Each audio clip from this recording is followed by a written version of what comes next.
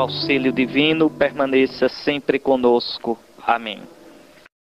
Começamos nossos exercícios com o convite.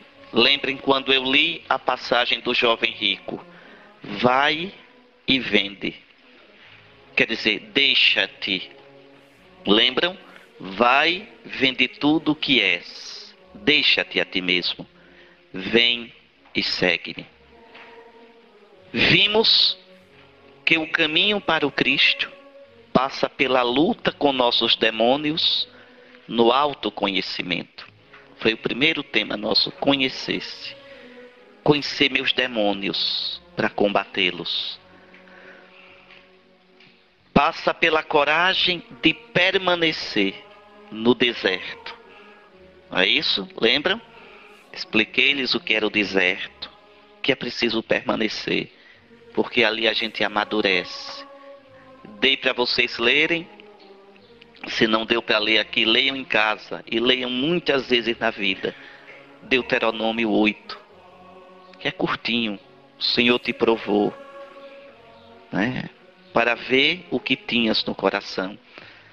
Pois bem, passa pela coragem de permanecer no deserto, pela generosidade da sese pela capacidade das distâncias. Tudo isso nós vimos. Mas nada disso tem valor sem a oração. Atenção. Para o cristianismo, o centro da vida é Deus. É uma coisa que eu queria tanto que vocês entendessem isso. Era tudo o que eu queria no curso de teologia, era que vocês entendessem isso e que a gente entendesse claramente. O centro da vida humana é Deus. Mas não é qualquer Deus. Só existe um Deus verdadeiro. Um Deus. O Deus cujo rosto Jesus mostrou. Então, o centro da nossa vida, o centro do cristianismo, é o amor, é a paixão, é a adesão, é a amizade com Jesus. Nele habita a plenitude da divindade, ele é Deus igual ao Pai. Ele é cheio do Espírito Santo, que nos dá vida. Aquele que se une a Jesus nos sacramentos e na vida, aquele que se une a Jesus, vive no Espírito de Jesus no Espírito Santo que Jesus nos dá pelo batismo e pelos outros sacramentos. São Paulo diz: quem se une ao Senhor torna-se com ele um só Espírito, um só Espírito Santo. Vocês já têm essa vida divina em vocês pelo batismo. Precisa somente deixar que ela tome conta de vocês, que ela aflore o Espírito Santo é como um vírus. Quando foi que a gente foi infectado com esse vírus? No batismo. E em cada sacramento esse vírus vai crescendo. O problema é que a gente sufoca o vírus. Como é que a gente mata um vírus? Tomando antibiótico, né? Quais são os antibióticos nossos? O pecado. As nossas vontades malucas. A gente vai sufocando o Espírito de Deus. E por que sufoca? Porque Deus respeita a nossa liberdade. E se eu não sufocar? E se eu deixar que esse vírus tome conta de mim? Esse vírus vai me transformar. Vai me dar os sentimentos, as atitudes, a vida de Jesus Cristo. Porque é o Espírito de Cristo. A ponto de eu poder dizer: já não sou eu quem vive, é Cristo que vive em mim. No dia que eu disser isso de verdade, eu sou feliz. Veja, e me unindo a Jesus, eu tenho acesso ao Pai. Então, tudo no cristianismo, tudo na nossa vida passa por Jesus. Então, a sese, não é? A luta interior, o autoconhecimento, tudo isso se desenvolve na relação com Jesus. Olhando para ele, o homem perfeito, eu vejo o quanto sou imperfeito. O amando, eu tenho coragem de, na luz dele, que disse: Eu sou a luz, me ver. Vendo a sua misericórdia e recebendo a sua graça, eu tenho a força de me superar. Ontem, quando eu falava em pensar na morte, alguns aqui fizeram Ave Maria, não sei o que. Não. Quando eu me lembro que a morte é estar com Ele, é caminhar para Ele, eu penso nela de modo diferente, positivo, sereno, maduro. Então, essa paixão por Jesus, por Jesus, não é um Deus qualquer o nosso Deus.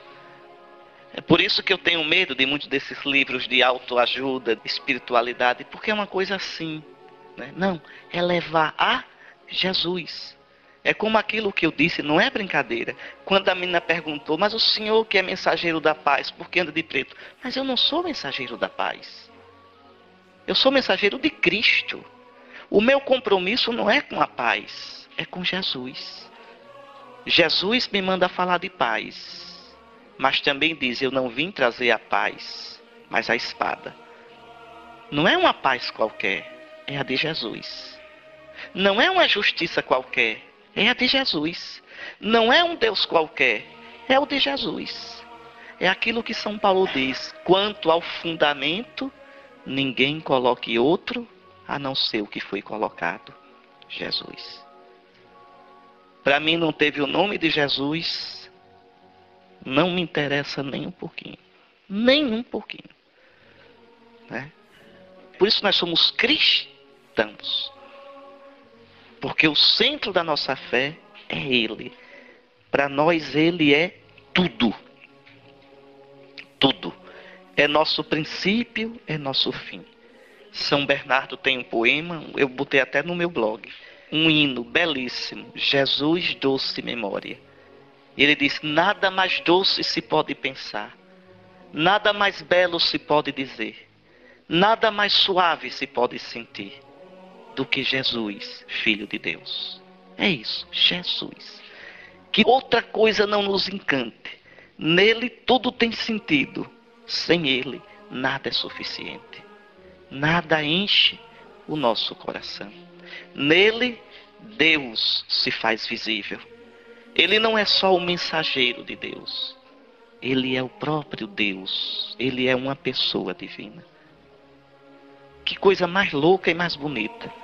Quem toca nele, toca em Deus. Quem já viu uma coisa dessa? O Deus infinito.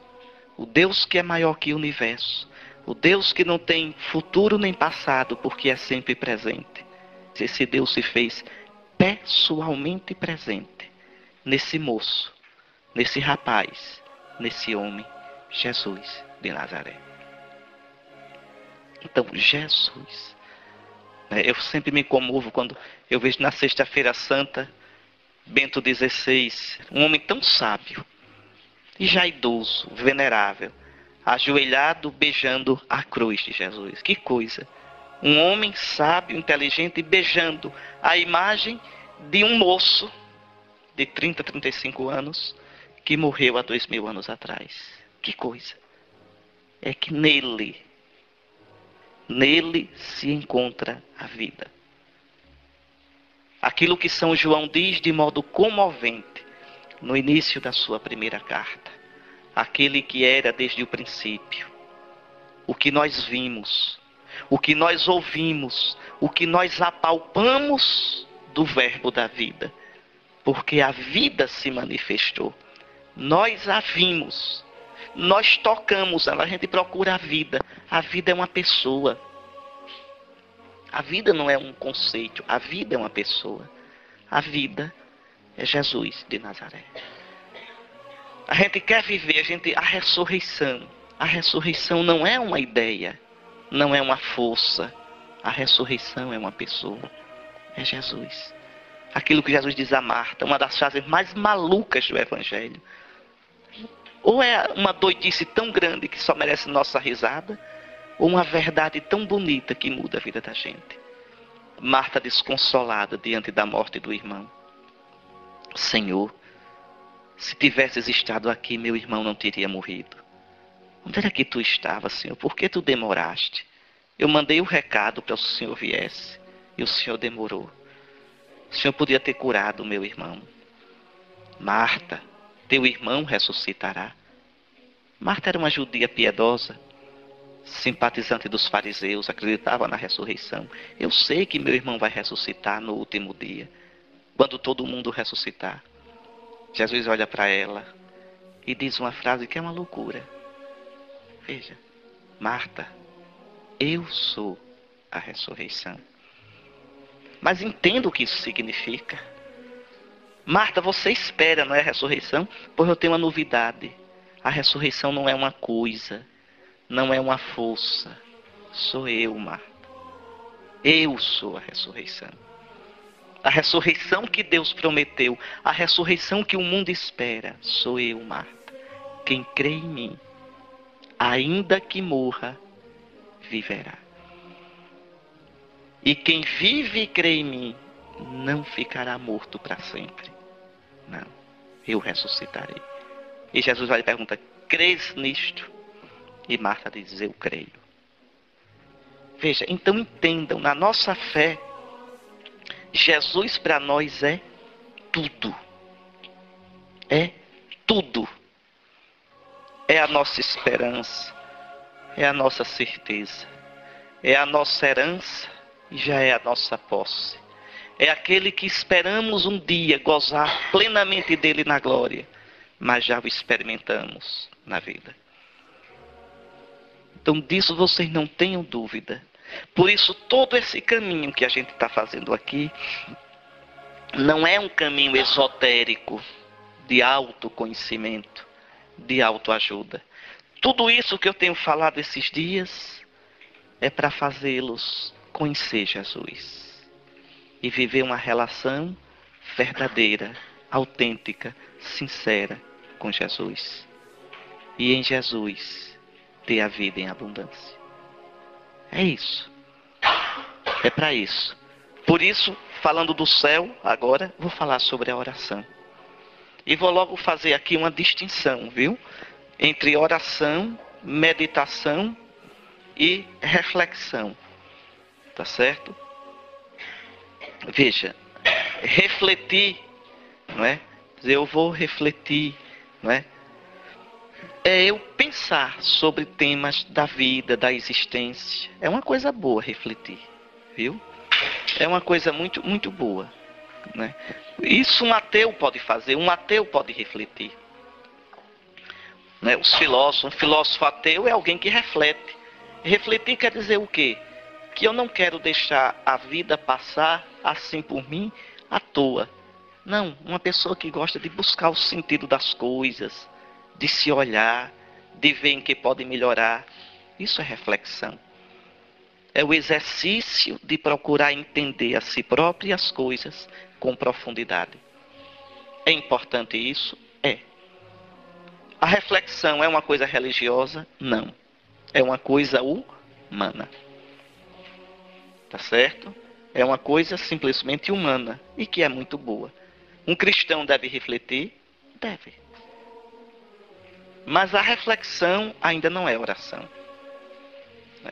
Depois tem a meditação. Né? Para nós cristãos, o que é meditação? É eu refletir, mas refletir à luz de Deus.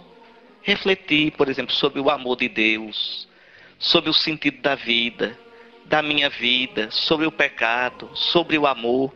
Mas tudo isso refletir à luz da fé, à luz da palavra de Deus. Aí já é uma coisa para quem crê. Tá certo? Já é uma coisa para cristão meditar. E por último, a oração. Aí a oração, aí sim, é dialogar com Deus. Na, na, na meditação eu penso em Deus. Na oração eu falo com Deus. Eu digo, tu na meditação eu penso, ele, ele é bom, mas Deus é tão bom. Mas apesar de todo esse mal do mundo, Deus é bom, eu estou meditando. Na, na oração não, eu não digo ele, eu digo tu. Tu és o meu Deus. Eu te amo. Senhor, por que o mundo é assim? Senhor, por quê? Veja, mas aí eu estou rezando. Tá certo? Agora, essas três coisas são importantes: reflexão, meditação, oração. Então, as três coisas são importantes. Agora, para nós cristãos, o centro de tudo isso é Cristo. Vocês viram, eu estou citando nesse retiro o tempo todo esses monges do deserto, esses abades, esses anciãos. Eram homens simples. Mas onde foram buscar essa sabedoria que eles têm? No amor a Jesus. Tudo isso eram modos de servir a Jesus. Modos de servir a Jesus. Às vezes de modo bem grosseiro, que eles eram meio rústicos, muitos analfabetos dentro da roça. O abade Pafinúncio tinha um livro com os evangelhos. Pegou, só tinha esse livro para rezar. Pegou e deu o livro. Aí o noviço pergunta, mas abade, por que o senhor deu o livro? Esse para obedecer o que estava escrito nele. Vai vender tudo que tens, dá aos pobres. Ah, pronto. Mas são essas tiradas que nos fazem pensar. São essas tiradas que nos fazem pensar. Então esses homens a sabedoria que eles tinham, as penitências que faziam, era por causa de Jesus. Aqui está a diferença do cristianismo, por exemplo, ao budismo, das religiões. Essas religiões são a busca do autoaperfeiçoamento. Eu me procurando. No cristianismo, eu procuro Jesus.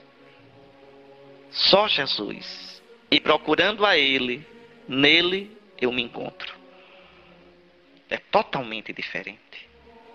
Nessas religiões, o eixo sou eu. Então aí vamos lá, coisa de alta ajuda, de exercício, de meditação transcendental, de não sei o que. Esse negócio todo que o mundo oferece. Não. Para o cristão, só há uma paixão na vida: Jesus. Nele eu me encontro. Nele eu encontro tudo. São João da Cruz dizia: Tudo é meu. O céu é meu, a terra é minha. Os santos são meus, os pecadores são meus. E até a mãe de Deus é toda minha e para mim. Porque Cristo é meu e para mim. Pronto. São Paulo diz de modo apaixonante: Por ele eu perdi tudo. Tudo, e perdeu mesmo. Perdi tudo. Perdi família, os amigos que eu tinha, o prestígio que eu tinha no judaísmo. Perdi tudo.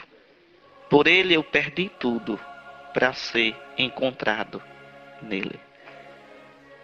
Paulo se perde para Paulo do jeito de Paulo, para encontrar Paulo do jeito de Jesus. Isso é ser cristão. Então, todo esse caminho que eu tenho proposto para vocês esses dias é esse. Eu quero que fique bem claro: aqui não é um curso esotérico de autoajuda. Não, nada disso. Aqui é um caminho para Jesus. O nosso olhar se dirige a Jesus. O nosso olhar se mantém no Senhor, nele. Nele eu encontro toda a sabedoria da vida. Podem ter certeza. Nele encontra-se a plenitude de Deus e a plenitude do homem. Não existe ciência mais elevada do que a ciência de nosso Senhor Jesus Cristo. Aí você encontra às vezes pessoas analfabetas, pessoas simples, que viveram a vida para Jesus e são sábias. Sábias, livres, felizes, integradas. Veja, porque fizeram de Cristo o eixo, o sentido da sua existência. Então não esqueçam nunca isso. O eixo da nossa existência é Jesus. Nada mais doce se pensa, nada mais belo se diz, nada mais suave se sente do que Jesus, Filho de Deus. Agora, esse seguir a Jesus por causa do nosso pecado, das nossas máscaras, requer que a gente se deixe para se encontrar nele de modo novo. Então era isso que eu queria, por isso a oração. Somente ela nos cura realmente, porque somente através dela penetramos no mais íntimo de nós e nos tornamos realmente dóceis à ação e à força do Espírito Santo, que é consolador, que cura, refrigera, dá vida e renova. É interessante, a oração é importantíssima. A oração envolve meu corpo, minha inteligência, meu sentimento. O texto, por exemplo, o texto. Eu rezo o texto no carro, em geral. Quando estou com o motorista, hoje eu estou com o seminarista, que ele vem cá na sexta, sábado, domingo comigo, eu vou rezando e ele me acompanha. Quando não, aqui no carro mesmo, rezando. Você pode dizer, mas não presta atenção. Não é isso, não é o prestar atenção a gente rezando se coloca na presença de Deus. Mesmo que eu não esteja pensando naquilo, eu estou na presença de Deus. Esse colocar-se na presença de Deus é a novo. Esse colocar-se na presença de Deus me renova. Esse colocar-se pode ser em 15 minutos de adoração, na leitura da palavra de Deus, na meditação de um salmo, na leitura de um livrinho piedoso, da vida de um santo. Toda vez que eu me abro para Deus, eu me renovo. É a novo. Entendam, pelo amor de Deus, nesse mundo não existe novidade. Aquela palavra do Eclesiastes é verdade. Nada de novo debaixo do sol. Vêm os velhos desejos reciclados, os velhos pensamentos que voltam à moda, mas nada de novo. É a eterna busca do homem que sozinho não encontra salvação. O que tem de novo no mundo? O que vem de Deus. Aí sim é oxigênio novo. Então toda vez que na oração eu me abro para o Senhor, eu me renovo. Eu me centro. Pois bem, o lidar com os pensamentos, os exercícios concretos são um bom auxílio na luta contra as paixões podem aquietar a alma, podem torná-la saudável, mas somente a contemplação permite a verdadeira cura. É interessante, Victor Franklin dizia que nunca, nunca viu cura terapêutica, psicológica, autêntica, verdadeira, profunda, que não passe pela vida espiritual. Porque nós somos feitos para Deus, não tem jeito. Veja, o que nós estamos fazendo agora na nossa sociedade dá pena. Tiramos Deus. Tiramos Deus. Vamos construindo um mundo sem Deus. E depois, para remediar uma sociedade doente, doente porque não tem Deus, aí tem que botar a polícia na rua. Pode colocar o exército todinho na rua. Que você não acalma a violência, nem bebela o tráfico de droga. O tráfico de droga existe porque existe necessidade dela. Existe necessidade dela porque existe um vazio de sentido para a vida, de valores. Existe um vazio de amor nas famílias. Porque o tecido social se desagregou. E se desagregou por quê? Porque aquilo que dava vida, dava coesão, eram os valores nascidos da fé comum. Eu digo isso ao prefeito toda vez que eu encontro o prefeito de Aracaju e ao governador. Ajudem a igreja, porque vocês estão se ajudando. Entende? A fé é questão de necessidade pública. Napoleão, que em si não era crente, nem era cristão sincero, ele dizia. Ele suspendeu a perseguição à igreja na França porque dizia: Eu posso governar sem Deus, mas não governo sem religião. Claro que esse jeito de falar dele é cínico. Que a religião só tem força porque manda para o verdadeiro Deus. Mas é verdade. É verdade. Diante da injustiça, da dor da vida, diante da morte, diante do absurdo, não tem ciência nem filosofia que console o coração humano. Só Deus. Só Deus. Só saber que eu sou amado por Ele. Então, somente a contemplação permite a verdadeira cura. Agora, o que é essa tal de contemplação? Eu coloquei aqui, olha, é a oração pura, é aquele estar continuado, perseverante diante de Deus, acima dos pensamentos e sentimentos, é viver na presença do Senhor.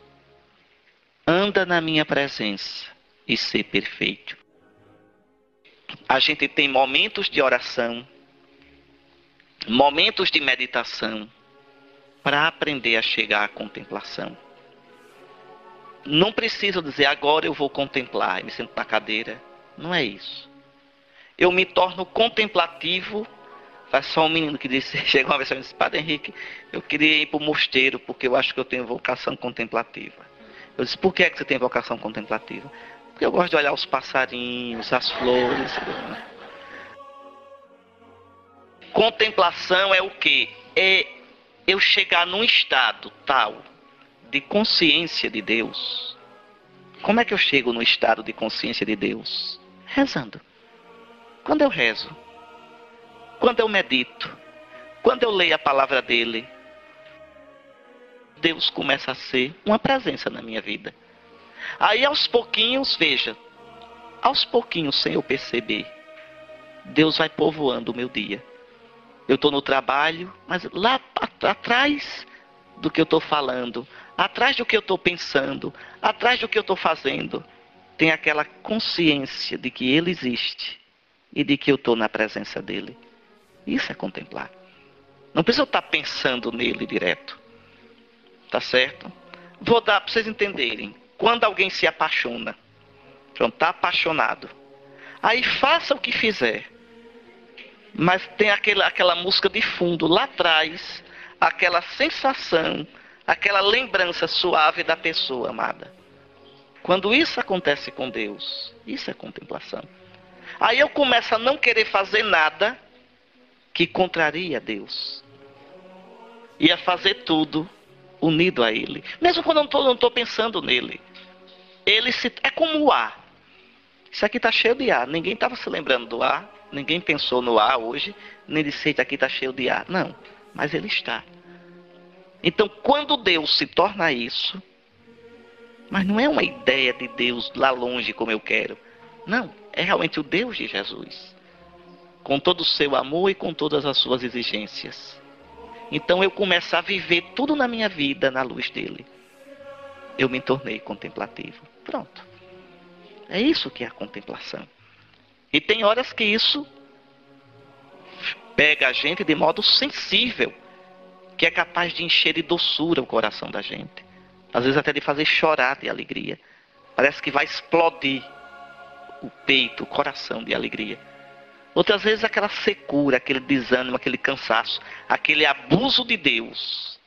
Mas por trás do abuso de Deus está a presença de Deus. Eu digo, eu estou abusado até de Deus. Mas lá para trás a gente daria a vida por ele. Então isso é a contemplação. Aí a gente começa tudo na nossa vida a analisar, avaliar, resolver, medir na luz de Deus. A gente se torna livre, maduro, a gente se supera. Sem isso, não tem cristianismo. Agora vocês imaginem a situação grave que a gente está hoje em dia. Quantos cristãos têm uma vida assim? Não é? Como aquele agricultor que o padre na roça perguntou: Para vocês, quem é Deus? E o agricultor disse: Deus é o meu chão. Porque do meu chão eu tiro a comida. Do chão eu vim, no chão me deito. O chão que vai me acolher no meu último sono, quando morrer. Ou seja, Deus é o meu horizonte. Deus é o meu sustento. Deus é a minha rocha. Deus é tudo para mim. Deus não é um armário que de vez em quando eu abro, quando preciso. Não. Não. Deus é o tudo. Deus é o tudo. Mas isso a gente não experimenta sem a oração. Sem a oração, Deus só é uma ideia. Sem a oração, Deus é uma teoria. Nunca será meu Deus de verdade. Então, vejam, contemplar é não tanto pensar em Deus, mas unir-se a Deus. Dizia Santo Isaac de Nínive, quando o Espírito, o Espírito de Cristo, né, o Espírito Santo, estabelece sua morada no homem, este não pode mais deixar de orar. Porque o Espírito não cessa de orar nele, ainda que durma ou esteja acordado, a oração não se separará do seu coração. Seja comendo, bebendo, esteja em descanso ou trabalhe, o perfume da oração exala espontaneamente de seu coração. Daí em diante, não dará a oração um tempo determinado, mas todo o seu tempo será a oração. Agora, todo o meu tempo não será oração se eu não tiver tempos sérios marcados para rezar. Sem esses tempos sérios marcados, Deus vai desaparecendo da minha vida. Portanto, mais do que momentos de oração, trata-se de viver em oração. Trata-se de uma atitude existencial que vai se tornando mais densa, mais intensa, sobretudo nos momentos reservados para a oração. Então, este estado de oração vai criando em nós um espaço de puro silêncio. Isso é muito bonito. O que é esse silêncio? É quando eu vou aprendendo que não interessa que eu não saiba tudo. Deus sabe. E isso basta. Para que ter que dar conta da vida dos outros? Deus cuida de todos. Para que ter que ter uma opinião sobre tudo? Tudo está nas mãos de Deus. Só Ele sabe a verdade. Para que me afadigar? Tem que ajudar todo mundo de qualquer jeito. Tudo está nas mãos de Deus. Então isso vai criando aquele silêncio na gente, aquela paz interior. Que eu repito, que não é desinteresse nem comodismo, mas serenidade. Serenidade, mansidão é o fruto da oração. O último fruto da oração, da contemplação, é a serenidade, a paz. Por quê? Porque tudo está nas mãos de Deus. Às vezes o nosso ativismo, hoje que a gente vive numa crise de oração e tudo, eu encontro tanto bispo, tanto padre preocupado com a pastoral, mas não pode, porque está uma descristianização, as seitas estão crescendo, o secularismo. E o que é que eu posso fazer, padre? Não, tem que. Não, não. O que a gente tem que fazer é rezar e ser cristão de verdade. E testemunhar com a vida e com a palavra. Pronto. O resultado a gente entrega a Deus. Ah, mas é culpa aquele ato penitencial que eu odeio. Aí quando cantam eu fico pelos pecados, pelos passados. Aí bota, se há no mundo tanta coisa, é culpa dos cristãos. Não é culpa dos cristãos, não, é não. É porque aceitar o evangelho é difícil mesmo. É difícil para a gente que está no ramo, quanto mais quem está lá fora. Ah, não é cristão porque os cristãos vivem mal. Não, não é cristão porque a cruz pesa. Não é cristão porque tem que se converter. Ninguém gosta de se converter. É na marra. Por que foi que você de Marcel para cá? Por que se converter dá trabalho para fazer um curso todinho, um retiro, para tentar converter uma coisinha? Porque dá trabalho. Só isso. Nosso Senhor nunca disse que o mundo todo vai ser cristão. Nunca disse. Nosso Senhor quer que em todo mundo haja cristãos de verdade. Pronto. Eu não me esquento nem um pouquinho. As seitas estão crescendo. Deixe crescer. A minha preocupação não é se as seitas crescem. A minha preocupação é se nós testemunhamos o que devemos testemunhar. Para que as pessoas que queiram encontrar Jesus, nos olhando, possam encontrar. Pronto. E se nós somos bem pouquinhos? Não tem problema. O problema é que sejamos pouquinhos fiéis. Mas o que, é que a gente quer? Não vamos mudar o cristianismo, fazê-lo bem fácil, abraçar todo mundo. Então a gente não será salvo. O sal não é a comida toda. O sal é o tiquinho que dá sabor à comida. O fermento é o tiquinho que leveda a massa toda. O fermento não é a massa. Nem o sal é a comida. Então veja, umas ideias erradas. Umas ideias erradas. Veja. Olha direitinho. O que é que eu estou fazendo aqui, esse dia todinho aqui, um grupo pequeno? Eu estou fazendo semeando o reino de Deus, a palavra de Deus. E mil vezes a gente faz, independente do número. Às vezes as pessoas, ah, o senhor vai, senhor bispo, mas não tem muita gente. Mas eu não perguntei se tem muita gente. Não me interessa nem um pouquinho. Veja São Paulo, chega em Filipos. Em Filipos não havia muitos judeus. Né? Na segunda viagem missionária dele, ele vai bater em Filipos. Não tinha muitos judeus, não tinha nem sinagoga. Então ele diz: Bom, hoje é sábado. São Paulo vai para a beira do rio, porque ali tinha judeus, certamente rezando. Não encontrou judeu nenhum. Encontrou umas lavadeiras, umas mulheres lavando roupa na beira do rio. São Paulo se senta e começa a conversar com elas. E ali está Lídia, que era comerciante de púrpura de Tiatira. E depois de conversar com as mulheres, repare que perda de tempo. Em vez de estar na sinagoga conversando com homens, com o pessoal do Areópago, conversando com aquelas mulheres. Naquele tempo, mulher não liderava nada, não decidia nada. E aí São Paulo perde tempo conversando com as mulheres.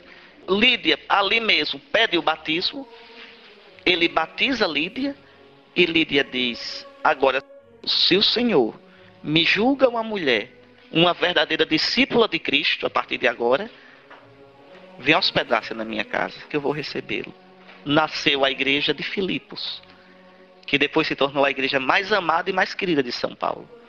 Então vejam, no que é pequeno, no que é simples, no que aparentemente não conta. Então não é a ânsia de fazer todo mundo cristão de qualquer jeito. Ah, mas vamos trazer para dar um show. Isso não é. Veja, juntar gente para falar de Jesus e cantar porque sente, porque a música é bonitinha e sente coisinha no coração, isso não é cristianismo. Cristianismo verdadeiro é isso que eu estou dizendo, minha gente. É a adesão pequena, miúda a nosso Senhor. Aqui quem estudou comigo sabe que eu sempre tive essa ideia, sempre defendi isso e combati esse tipo de coisa, essa ilusão de igreja de muita gente. Se tiver muita gente, ótimo. Ótimo. Mas muita gente a qualquer preço não. Eu me sinto incomodado quando numa festa de padroeiro, numa festa o padre diz: "Muito obrigado porque vocês vieram". Vocês nunca escutaram no livramento eu agradecer porque vocês iam para a missa. Como não vou agradecer porque vieram para cá? Não. Não. Muito obrigado porque vieram. Obrigado a Nosso Senhor que recebeu a gente. Não, não estou fazendo favor a Nosso Senhor. Ir para a igreja não é favor que a gente faz a Nosso Senhor. Ir para a igreja é bondade do Nosso Senhor de ter colocado o desejo no nosso coração, a força de vir e Ele acolher a gente. É a gente que precisa dele. Veja que coisa. Então as coisas erradas na cabeça da gente, entende? Tronchas, tronchas, muito tronchas. Então nós precisamos da contemplação, nós precisamos viver na presença do Senhor para respirar de verdade, para ser gente de verdade, para encontrar o verdadeiro sentido da vida e a paz. Olha aqui, isso que eu digo, este estado de oração vai criando em nós um espaço de puro silêncio. É aí que Deus mesmo habita em nós. Aquilo que diz o profeta Isaías: na confessão e na calma estaria a vossa salvação. Na tranquilidade e na confiança estaria a vossa força. Ou o que diz as lamentações de Jeremias: é bom esperar em silêncio a salvação do Senhor. É aí no silêncio que Deus habita. Esperar no silêncio não quer dizer ser passivo, ser desinteressado da vida. Não é isso não. Esperar no silêncio é aquilo que diz Santo Inácio de Loyola, que é muito prático. Fazer tudo como se tudo dependesse de ti.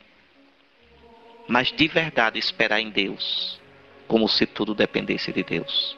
E tudo depende de Deus, não é como não, tudo depende de Deus. Mas esse depender de Deus me coloca exatamente não em passividade, mas em querer ser cooperador da graça de Deus.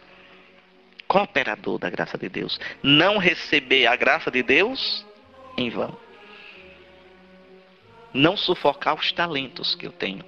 Então vejam, a oração faz com que eu possa enfrentar as coisas mais difíceis da vida sem perder a paz. Você seja um homem que eu admiro profundamente, mas profundamente. Eu nunca teria palavras para dizer o tanto que eu admiro é o Papa Bento XVI. Imagine, esse homem foi prefeito da congregação da doutrina da fé durante todo o pontificado de João Paulo II. Se vocês olharem o que se escreveu sobre esse homem, o que se disse de mentira, de calúnia, que era um ditador, que era um homem desumano, que era um cardeal tanque de guerra, que era um inquisitor, que era um obscuro. Aí você lê os escritos desse homem, ele não tem uma palavra de crítica a esse povo. Não tem uma palavra de dureza. Bem diferente do meu temperamento, porque eu dou cada, às vezes até nos escritos, né? Não, Ratzinger não. Duvido. Hansking acabou com Ratzinger. Leia o que Ratzinger escreve sobre Hansking. É só delicadeza. Só. E eu fico perguntando, como é que esse homem aguentou 27 anos? A campanha contra ele. Todo mundo falando mal dele. Piadas a respeito dele. E ele sem perder a paz, a serenidade sem nunca dizer ao Papa, vou-me embora para a Alemanha porque não dá para mim não. Como é que esse homem conseguiu isso? Porque era livre. E onde foi que ele achou essa liberdade? No silêncio e na mansidão interior. E onde encontrou isso? Em Jesus. Como ele disse na homilia de abertura do conclave, tem lá uma palavrinha dele que é encantadora ele vai falando e faz. Dirige-se a Jesus e diz: Obrigado, Jesus, pela tua amizade. E a gente fica pensando no que não existiu. Né? Ele tinha 79 anos nessa época. Uma história de amor, de amizade com Jesus, que só ele, Jesus, sabe. Obrigado, Jesus, pela tua amizade. Como quem diz obrigado porque na hora da tristeza tu foste a minha alegria na hora da crítica, da calúnia, da incompreensão, na hora em que os meios de comunicação me massacraram. Tu foste o meu consolo e a minha paz. Obrigado, Jesus, pela tua amizade. Então é isso. Compreendam isso. A oração, a contemplação nos faz fortes, serenos, serenos. Não nos faz covardes nem alienados. Não mas aquilo que nós fazemos com toda firmeza, fazemos sem perder a paz. Fazemos sem nos identificar com os problemas, como eu falei ontem. O nosso mal é isso. Aí do bispo, se ele se identificar com a imagem dele, tá frito. Porque quando souber que um padre criticou, ele fica doido. Ou não faz as coisas com medo de ser criticado, ou vai em cima de quem o criticou. E como tem autoridade, persegue. Ah, me criticou? Transfiro aqui em Aracaju para onde? Para Feira Nova. No sertão brabo, divisa com a Bahia. Vai ser padre em Feira Nova. Porque me criticou. Veja. Exatamente. Mas por quê? Porque não se desidentificou com a sua imagem. Compreendem? Uma vez São Bento chegou tarde no mosteiro, século VI, né? E já tinham jantado, ele sentou-se para jantar e o monge segurando aqui a lamparina para ele. E o monge era filho de nobre e começou a pensar. É natural essas coisas na gente, viu? O bichinho não é nenhum bandido, não, era um monge bom. Mas começou a pensar: que coisa, eu, um nobre de sangue, segurando essa vela para esse camponês rústico. Começou só a pensar. Só que para azar dele, São Bento tinha cardiognose. Lia os pensamentos. Né? É, é, é por isso que santo dá trabalho. Aí São Bento na hora fez. Meu filho, sente aqui, por favor. Entende? Sente aqui, meu filho. Me dê a lâmpada que eu seguro, não é? E aí o, o irmão confessa o pecado dele. Mas vocês vejam, é a oração. São Bento podia ter explodido com ele. Não, não. São Bento na maior simplicidade. A oração, olhe, quem reza de verdade é bem-humorado. Por que é bem-humorado? Porque se relativiza. A gente dá muita importância a gente. Ave Maria. Entende? A gente dá muita importância a gente. Não, é preciso que a gente se relativize também. Eu estou repetindo muita coisa que eu já disse, mas agora à luz da oração. Porque naturalmente eu sou o centro. Eu. E eu vejo tudo a partir de mim. É um inferno. Aí é um inferno. Meus filhos têm que ser como eu penso. Meu trabalho como eu penso. O mundo como eu penso. Deus como eu penso. Eu tenho uma opinião sobre tudo. Quando eu rezo, isso é automático. De tanto rezar, Deus vai sendo Deus na minha vida. Aí sim, Deus se torna o centro de tudo. E eu venho para aqui. Aí tem eu, tem os outros. Eu vejo que, meu Deus, eu só percebo uma parte da realidade. Eu passo. Querem ver uma coisa? Um bispo, um padre que não tenham feito isso. Aí ele chega na diocese chega na paróquia. Pronto, agora que eu cheguei, faça-se a luz. Agora que eu cheguei, começa a história do mundo. Nunca antes na história desse país. Eu sou. Antes de mim não houve nada. Nunca antes na história desse país. Veja, isso é de quem não se desidentificou. Escutem só. Entende? Então eu perco a dimensão do que eu sou. Aí pronto, eu chego, vou dar o exemplo do bispo porque fica mais fácil vocês entenderem. Aí chego, mudo tudo na diocese de uma hora para outra. O que teve no passado não interessa. O que outros fizeram não interessa. Escutem só. Aí faço tudo do meu jeito. Não tenho a capacidade de escutar os outros, de valorizar de verdade os outros. Resultado: quando eu for embora, não ficará nada. Mas por que isso? Porque eu pensei que era eterno. Quando eu sei que Deus é o centro, eu tento fazer o melhor. E quando não consigo, rio e digo: talvez esse melhor que eu queria não fosse o melhor. E talvez outros farão melhor do que eu. E no dia que foi embora, digo: pois é, fiz o que podia Tá certo? E o que eu não pude, tenho paciência. Está nas mãos de Deus. Veja, a desidentificação me dá liberdade. Me dá jovialidade. São João da Cruz diz: o amor nem cansa, nem se cansa. Pronto. Já aquele que não se desidentifica, aquele que não reza, nem sossega, nem dá sossego. Termina feito um bispo que já morreu, eu sou como um mandacaru, não dou sombra nem encosto para ninguém. Pronto. Imagine que lema de vida. Não é eu sou como um mandacaru, não dou sombra nem encosto para ninguém. Jesus diz: Vinde a mim. Jesus dá sombra e encosto. Tá certo? Esse não dá sombra nem encosto.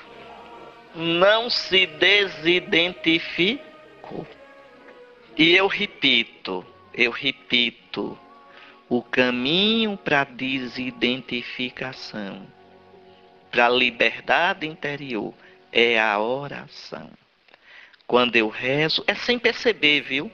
É sem perceber. Não precisa ficar dando o que. Não, é sem perceber. Quando eu rezo, Deus vai sendo Deus na minha vida. Deus vai deixando de ser uma ideia para ser alguém. Cristo vai deixando de ser o nome para ser a presença mais doce, mais suave, o melhor amigo que a gente possa ter.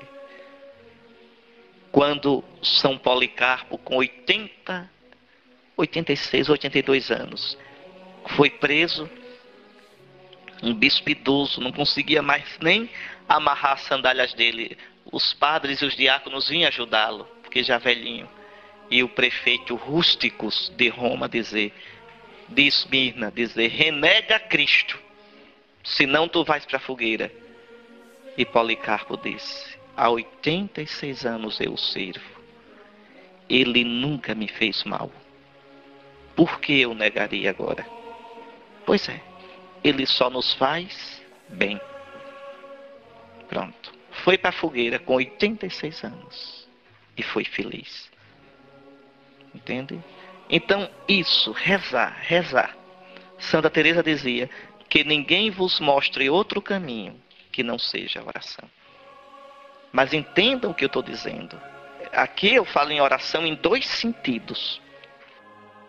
Para ficar bem claro.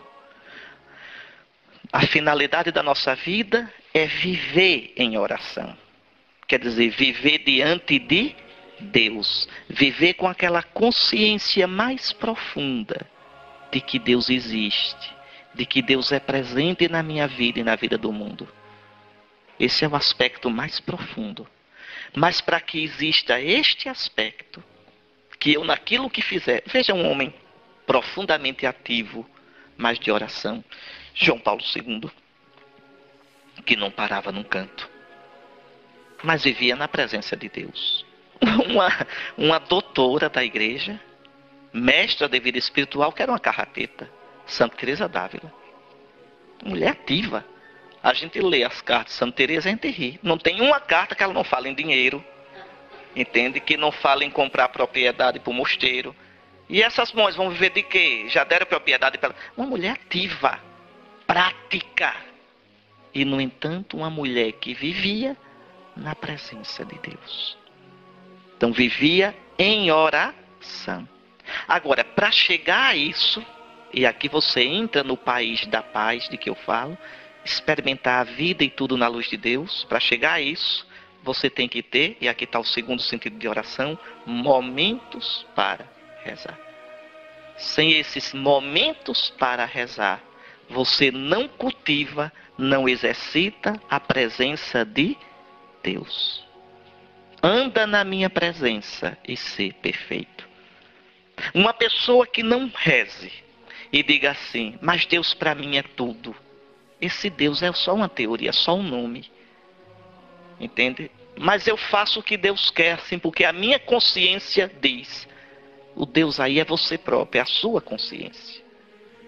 Não, Deus não é a nossa consciência.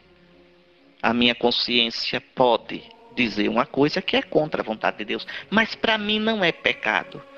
Ótimo, para você. Só que você não é Deus. Olha aqui. Saia daqui, vá para aqui e deixe que Deus seja Deus. Escute o que Deus diz na Escritura. Escute o que Deus diz pela igreja dele. E aí você vai ver que você tem que mudar, que você tem que se converter, que você tem que mudar de vida.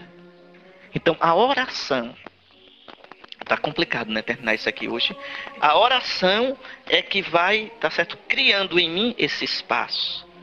Neste estado que ultrapassa palavras e sentimentos determinados e tem-se, sobretudo, o sentido de uma presença, podemos encontrar a proteção para o nosso coração. Aí a pessoa se vê na luz de Deus e descobre quem ela é. Eu sou imagem de, de Deus, né? Sou imagem do Cristo Jesus imagem amada filialmente no espírito de amor, aconchegada no regaço do Pai. Aí eu não vou depender dos elogios ou das críticas de ninguém. Os elogios não vão me fazer perder de vista a minha limitação e as críticas não vão me fazer diminuir minha imagem de jeito nenhum. Eu escuto os elogios e agradeço a Deus escuto as críticas e me avalio, porque como eu saí do centro, não tenho medo de ser limitado. Mas por outro lado, sei o valor que eu tenho, porque eu sou nem mais nem menos o que sou para ele. Por isso São Paulo dizia: Eu não me julgo. E nem me preocupo com o julgamento dos outros, porque os coríntios estavam metendo o pau nele. Quem me julga é o Senhor. Tá aí. Tá aí. Né? Então, então vejam. Uma frase de São Paulo que pode parecer prepotência. Sede meus imitadores, como eu sou de Cristo. Não é prepotência. Nem é falta de humildade. É que é um homem tão apaixonado por Cristo, que viveu a vida toda em Cristo, que não tinha medo. Mas ele dizia isso com a maior simplicidade. Pelo contrário, dizer isso publicamente é sinal de uma liberdade interior muito grande. Porque se ele fosse fingido, aí quando está assim, ô Paulo, você é um discípulo de cristão bom. Não, eu não sou isso, não, não diga isso não. Porque na verdade ele vivia pensando na imagem dele. Eu tenho que parecer humilde. Faz feito o, o mosteiro, que ia, eu já contei essa história para vocês, ia ter eleição para a nova abadesa, e o abade, presidente, veio para acompanhar a eleição. Aí foi eleita lá uma irmã, como a irmã sendo aceita, eu não sou digna. Bom, então vamos eleger outra. Não, mas também, né? Também não se pode nem fazer um ato de humildade. Não, não era humildade, era um sebo fingido. Eu não sou digna. Bom, se não é digna, o abade prático, então eleger outra. Mas pronto. Essas coisas assim, né? São Paulo não tinha isso, não. Sede meus imitadores, como eu sou de Cristo. Pronto. Em outro carta ele diz: Não que eu já seja perfeito. Uma coisa eu faço, esquecendo o que ficou para trás, eu sigo adiante. Então o que ele quer dizer? Homem, corram comigo. Corram atrás de Cristo como eu corro a vida toda. É isso que ele quer dizer. Veja, mas é um homem livre. Um homem simples. É a oração que faz isso, viu? É a oração. Aí tudo é curado. Quando eu experimento de verdade que eu sou amado por Deus, que eu sou imagem do Cristo Jesus, quanto a gente é ferido, não fui amado na minha vida, fui rejeitado. Meus pais amavam mais meus irmãos do que a mim. Ou então eu fui preterido quando era jovem. Ou então no colégio me rejeitavam e ficaram as feridas. São feridas que ficam. Quando eu realmente me abro para Deus, isso vai sendo curado, porque eu vejo que fui amado por Ele. O que diz o Salmo 26, 27.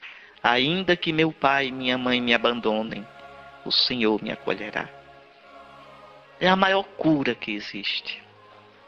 A maior cura é a oração. A melhor terapia. Aí tudo é curado no amor de Deus. Esse amor de Deus é o Espírito Santo. Todas as feridas que a vida nos possa ter infligida são cicatrizadas. Aí desaparecem todos os pensamentos em relação às pessoas que nos feriram. Você veja, a vida de colunista social, eu fico olhando. Vejam, a vida de sociedade é uma vida de aparência. Eu pago para ser convidado para uma festa para aparecer na coluna que eu estava presente. Minha gente, que coisa mais deprimente. Isso é pior do que se prostituir num bordel. Mas é verdade. Quer dizer, eu valho porque os outros disseram que eu sou importante. Que coisa triste. Mas o mundo funciona assim. Não, mas o mundo funciona assim. Mas é assim? É assim que funciona. As pessoas valem não é pelo que são, é pelo que têm. Não é nem pelo que têm, já errei. É pelo que parecem ter. Isso tem um nome bonito hoje, marketing. Marketing, né? É o Photoshop da vida. Então, aquele que reza é livre de tudo isso porque me importa o que eu pareço para Deus, não o que pareço para os outros. Mas isso está dentro da igreja, também está em todo canto. Aparecer para o bispo, parecer para o padre para agradar, não. O que eu pareço para Deus. Quem vive diante de Deus é livre, é sereno e é feliz. Nunca esqueçam isso. É livre, é sereno e é feliz. Mas isso a gente não consegue sem rezar. Nunca esqueçam isso. O nosso auxílio está no nome do Senhor.